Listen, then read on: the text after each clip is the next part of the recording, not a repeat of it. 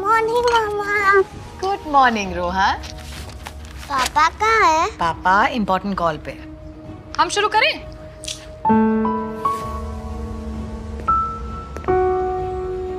Good morning, guys. Morning. What's for breakfast? French toast. Wow. हाँ पापा your favourite